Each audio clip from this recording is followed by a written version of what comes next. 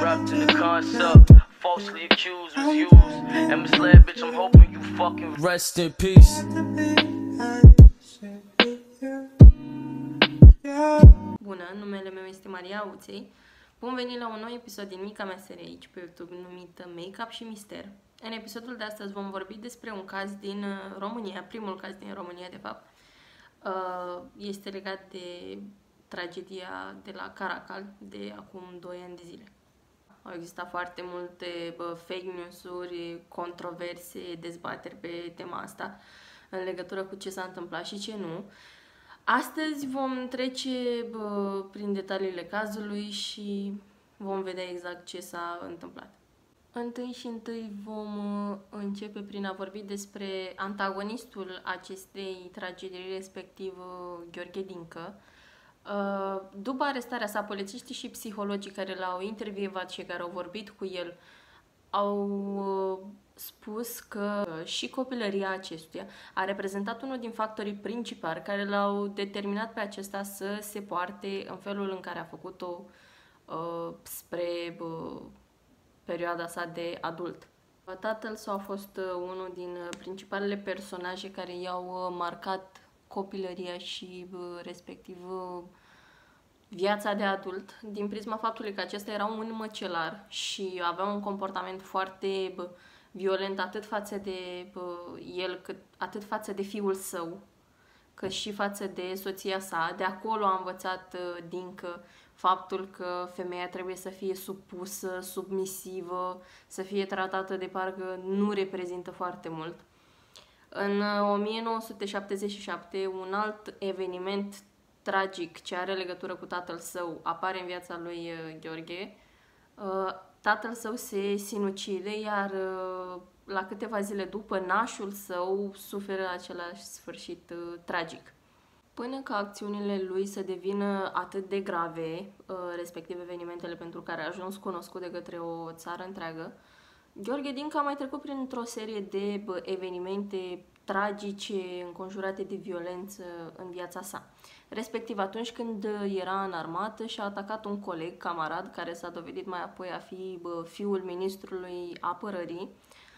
Uh, De asemenea, în perioada sa de adult, după sinuciderea tatălui său din 1977, acesta a fost internat de aproximativ 5 ori pentru depresii.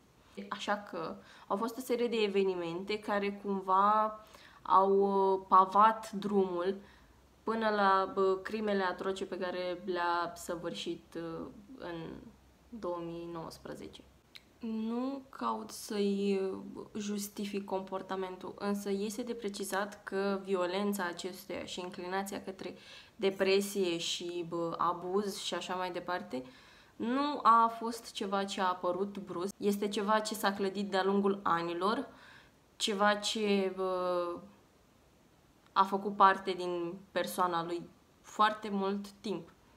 În, în cazul ambelor victime, acesta a avut cam aceeași bă, strategie de a le atrage, de a le răpi și așa mai departe.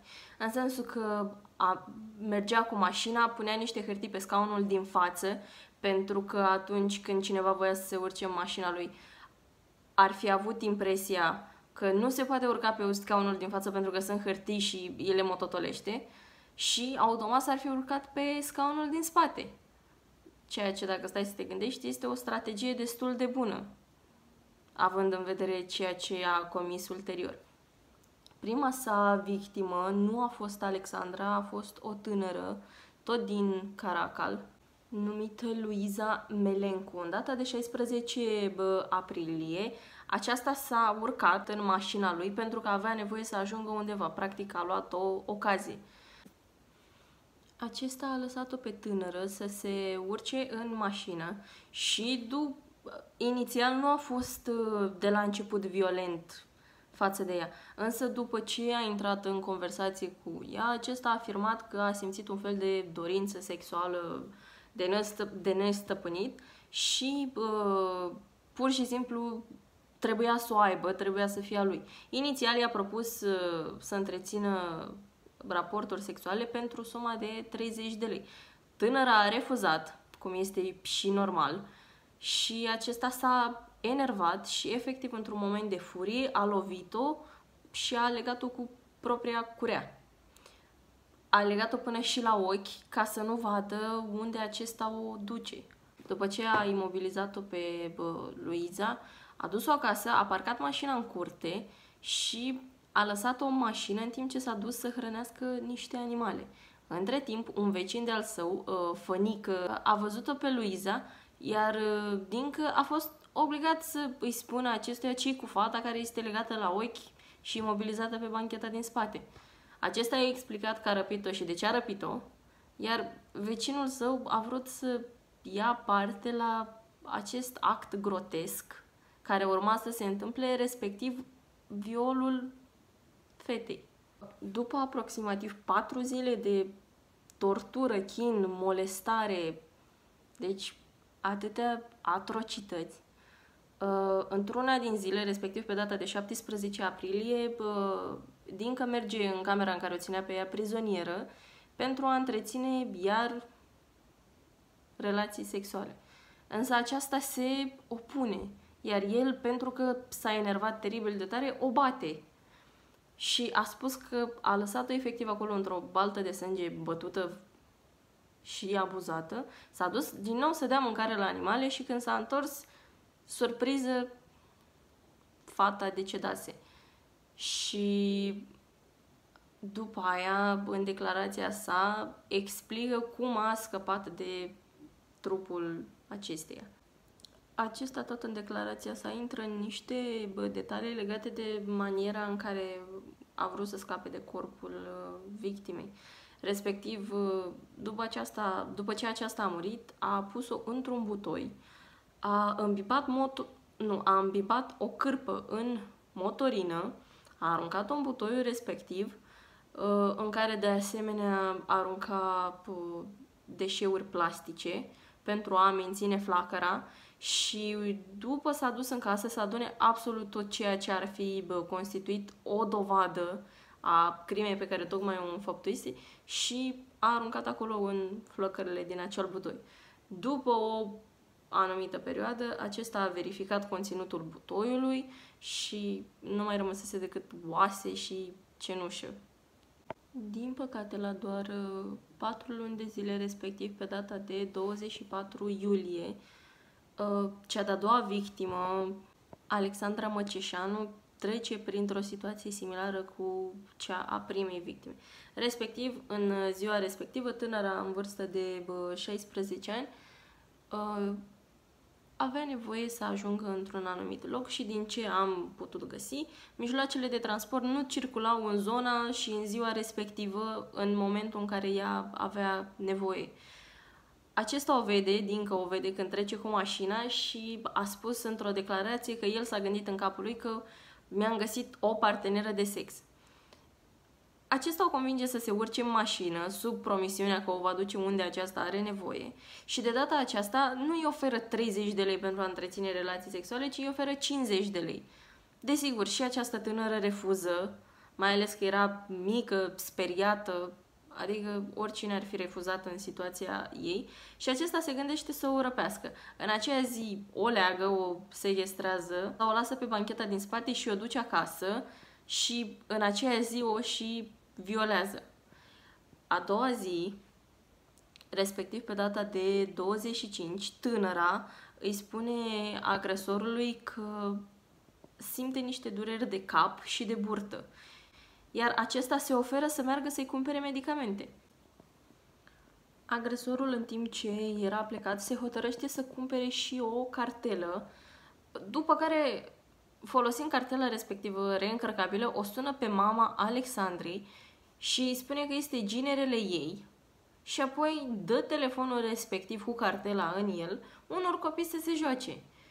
În acest moment îți poți da seama că omul este psihopat, adică o mai sună și pe mama respectivei fete, care deja se îngrijora că fata ei, fica ei, lipsește de o zi de acasă, lucru ce mama ei a spus că nu-i stătea în fire, și apoi tu o suni și te recomanzi drept ginerele ei, nu oferi nicio explicație legată de unde este, ce s-a întâmplat cu ea și așa mai departe. Între timp, Alexandra uh, deși bă, agresorul a legat-o de patul metalic cu lanțuri, cu ață și așa mai departe, a reușit să pună mâna pe un telefon și să sune la poliție de aproximativ 3 ori.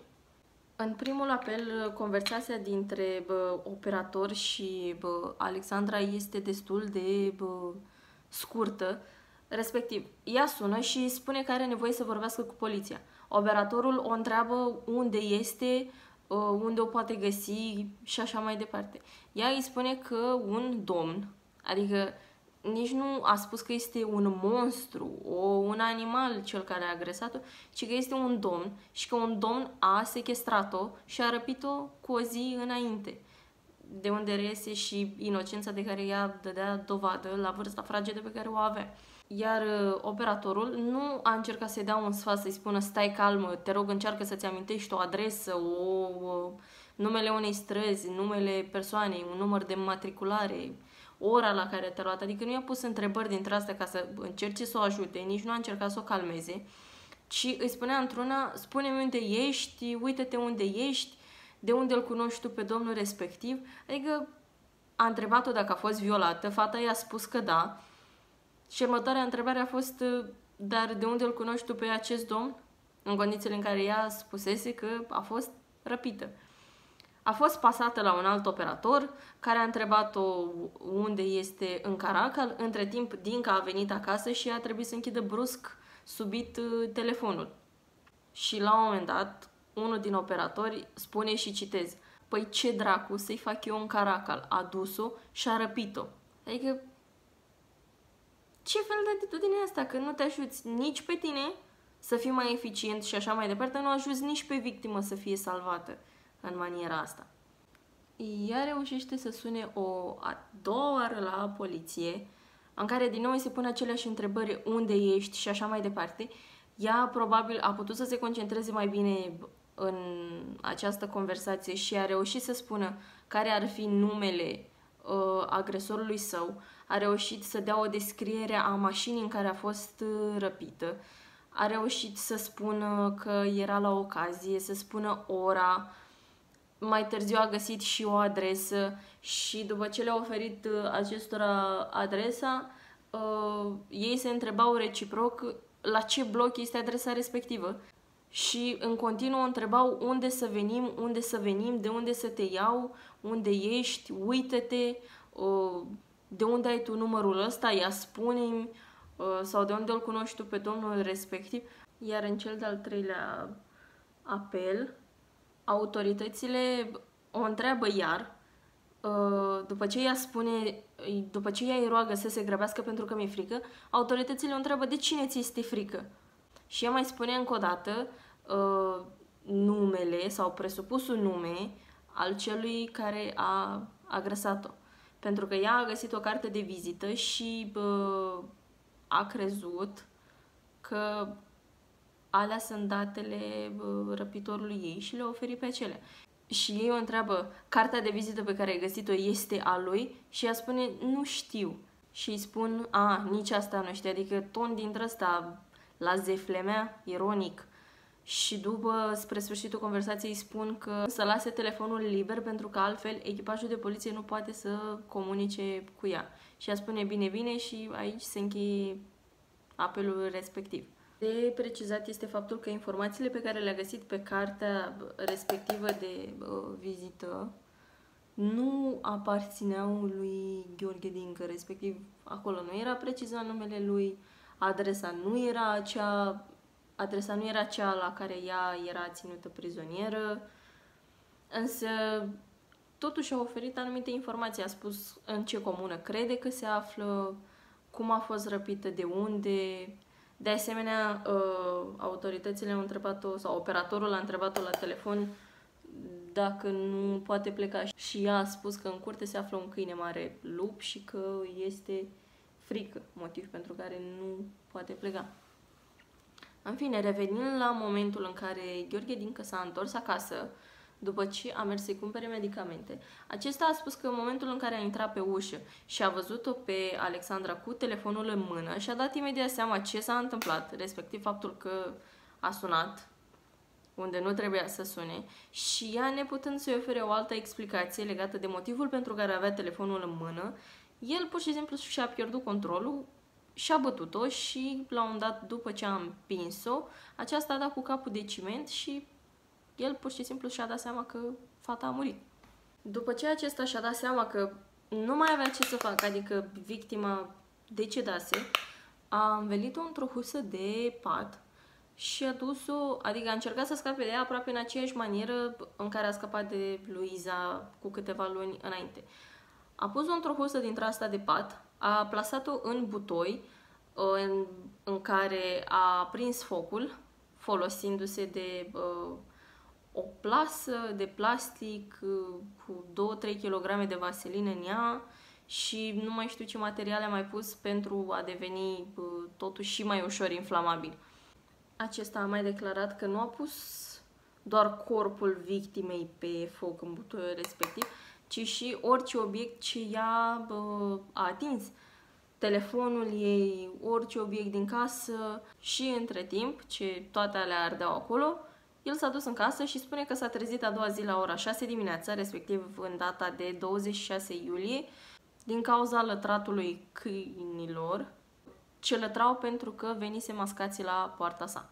Acesta a fost uh, interogat și arestat. Locația sa a fost descoperită în jurul orei de 1 dimineața, în data de 26 iulie. Uh, datorită listingului uh, telefonului de pe care a sunat Alexandra, pe data de 25, și datorită faptului că în ziua răpirii, uh, cei care au studiat camerele de supraveghere din zona în care a avut loc răpirea au putut determina cui este mașina și pe numele cui era înscris acel număr de înmatriculare. Undeva pe la ora 3 dimineața s-a obținut un mandat de percheziție care permitea astfel accesul în locuința lui Dincă. Însă procurorii împreună cu jandarmii au hotărât de comun acord să intre abia la ora 6 dimineața. Dincă ă, a fost într-un final ă, arestat și în urma procesului a fost condamnat pentru 8 capete de acuzare care includeau ă, viol, răpire și așa mai departe. Iar vecinul lui, uh, Fănică, dacă vă amintiți de el în cazul uh, lui Zei, el a fost condamnat doar pentru viol. Din păcate, acesta este finalul. Uh, te face să te gândești la faptul că poate dacă s-ar fi luat alte decizii sau persoanele implicate ar fi fost mai eficiente, mai înțelegătoare, mai profesioniste, poate rezultatul final ar fi fost un pic diferit, cel puțin în cazul celei de-a doua victime, dacă nu și în cazul primei victime. Din păcate, cazuri de genul acesta uh, îți reamintesc sau sunt ca o balmă peste față care să te aducă la realitatea societății și a lumii în care trăim, respectiv cea că nicăieri nu ești în siguranță, uneori nimeni nu poate să fie de încredere pentru că nu știi ce se ascunde în mintea cuiva. Cam asta a fost tot pentru astăzi. Vă aștept și marțea următoare la un nou episod tot din aceeași serie Make-up și Mister.